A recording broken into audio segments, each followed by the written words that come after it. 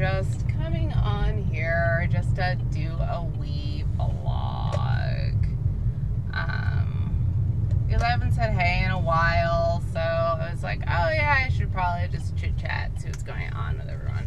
Um, give everybody an update. So, um, nothing too much has been going on.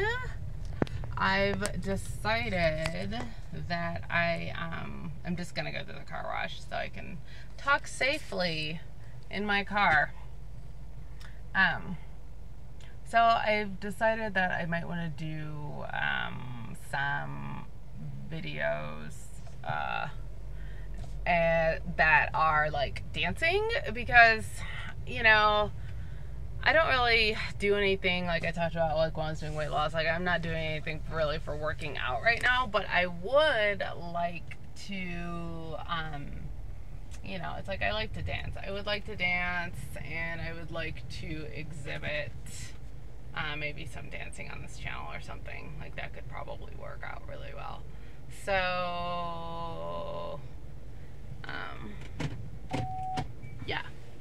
Um so yeah, so I would like to try doing that and see, you know, kind of what that would be. Um, I don't know if anyone would have any interest in that at all. But anyway, so I saw this video and it was, um, it was this girl dancing. I had seen it like last year or something, or very earlier this year. And um, her name is uh, Cyn. I think her Instagram is like at Dela Cyn, C-Y-N.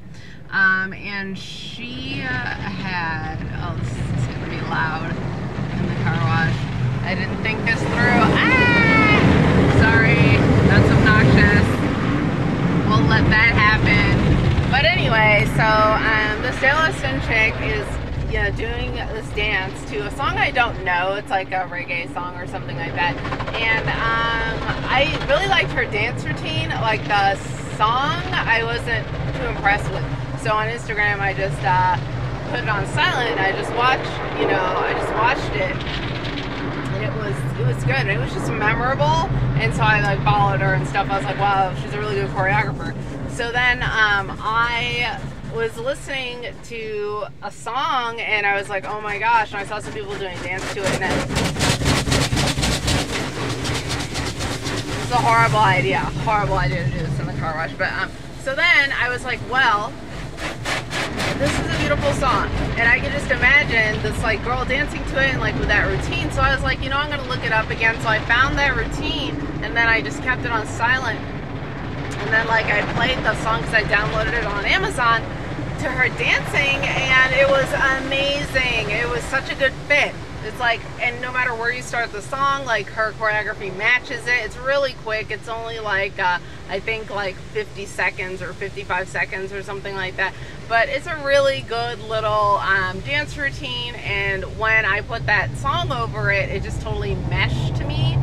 So I think what I'm going to do is um, try to do a split. I'm learning the choreography. I've learned most of it. It's not that difficult, but you know, to get the timing right, uh, it's a, a challenge.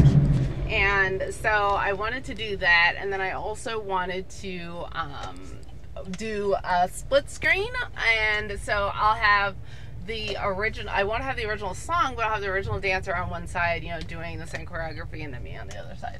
So just kind of an interesting idea, or if I can't figure out how to do that, or if I can't get a hold or permission for like her video, then I might just like um, do it myself over um, on the other choreography. So I don't know, just something kind of new and fun-ish, you know, for the channel or whatever maybe. So I'm gonna try it out.